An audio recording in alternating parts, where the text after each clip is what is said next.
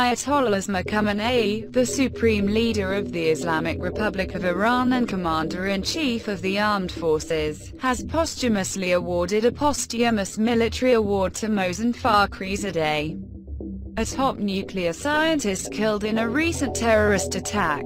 Late last month, Fakhrizadeh was killed in a terrorist attack near the Iranian capital, Tehran.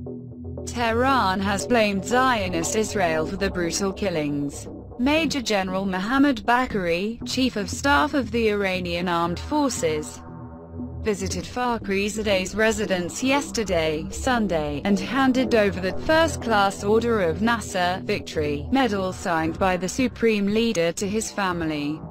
After Fakhrizadeh's martyrdom, Iranian Defense Minister Amir Hatami named him Deputy Defense Minister.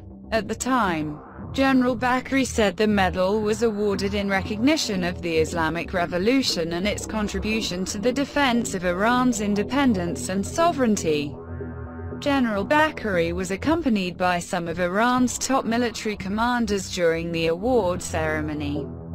He added that this is the highest medal given by the army in recognition of its cooperation and logistical contribution to the army.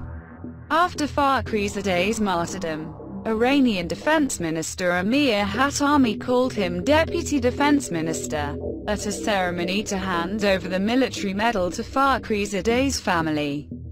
General Bagheri said that the killing of the top nuclear scientist would be avenged at the appropriate time and place.